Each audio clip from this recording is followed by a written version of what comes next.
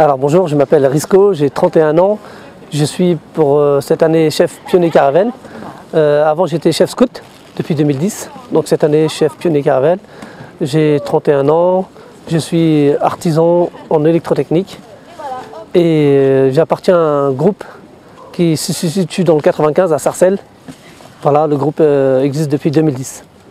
Alors, ben, le scoutisme, j'avais beaucoup déjà entendu parler il y a quelques années déjà, mais euh, plus particulièrement lorsque j'ai participé à un frat, ben, c'était en 2009, je me rappelle. Et en fait, euh, je me souviens très bien que c'était les scouts, enfin les pionniers de caravelle qui nous servaient les repas, et que même après, ils ont participé à une veillée avec nous. Et c'est vrai que ça m'a voilà, ça m'a fait tilt directement. Enfin, ça m'a...